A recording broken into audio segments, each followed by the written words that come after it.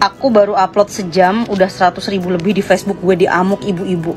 Bomat mau utuh EGP, jangan bicara dusta, tidak pernah disentuh ipul.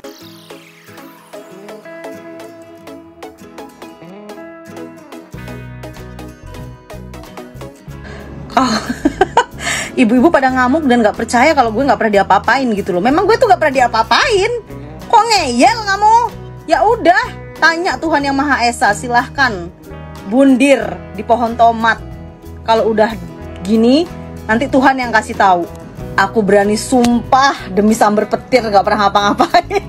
Tapi ngapain juga ya aku sumpah-sumpah. Kalau pernah juga kenapa, kalau nggak juga kenapa.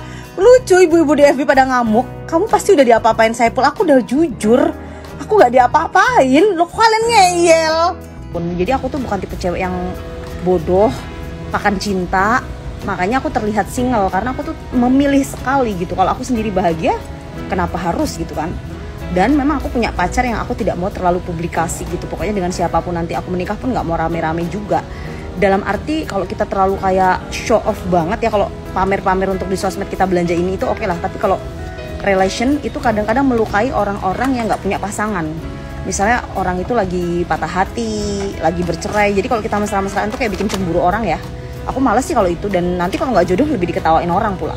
Makanya kalau aku punya ataupun misalnya aku udah menikah kalian nggak akan tahu karena aku malas aja publikasi kayak misalnya artis-artis selebgram ini itu mesra-mesra lah cium-cium besok putus nangis. Nah kalau aku nggak mau kayak gitu karena itu pelajaran aku yang lots of learning before yang aku udah pernah belajar sebelumnya bahwa kalau terlalu pamer kayak gitu banyak orang yang nggak suka gitu. Jadi kalaupun aku punya bukan berarti itu konsumsi publik kayak gitu deh Makasih buat orang batik ya yang udah kasih Lina servis bagus banget. Sampai katanya dikasih depan. Kalian baik semua loh. Ya Pokoknya kalau misalnya di batik langsung lihat mereka loh ya. Uh, makasih aku aku di servis bagus. Yang ngomong nggak bagus tuh bohong banget nih. Ini buktinya ya. Makasih ya. Sini sini ikut sekalian di videonya. Makasih kalian selalu follow aku, ngikutin aku ya. Yang paling ngefans yang mana ini? Aku tiga-tiganya ngefans sekali karena omongan kamu tapi benar benar. Tapi tapi kayak apa yang paling sering? Paling sering lihat tiap hari. Ini ya.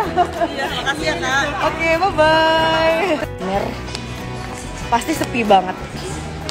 Dan yang penting yang aku pamerkan tuh aku tanggung jawab sesuai kenyataan, tidak mengada-ngada dan bukan harta hasil ngangkang dan bukan hasil gadun atau om-om duit yang memang aku pakai bisnis. Kalau aku dibilang OKB aku cuma mau bilang semoga aja aku jadi orang kaya beneran. Kaya hati bisa berbagi. Kalau iri bilang sayang. Yang suka pamer kan nggak cuma dinamo kerja aja. Perasaan orang di sosmed semua pamer deh. Beli tas ini tas itu. Itu suatu kebanggaan loh. Karena kan itu pencapaian sendiri sosmed aku sendiri kuota aku sendiri hidup hidup aku sendiri nggak minta makan sama kamu. Berarti kamu nggak pernah dong pamer atau punya HP baru nggak pernah upload. Berarti kamu kurang bahagia dong. Kalau aku kan selalu bahagia. Apa aja aku upload dan satu lagi. Dengan mengupload semuanya aku dapat uang yang banyak. Hey boys and girls, if you like our video, subscribe here. Click here for our new videos and click here for something just for you.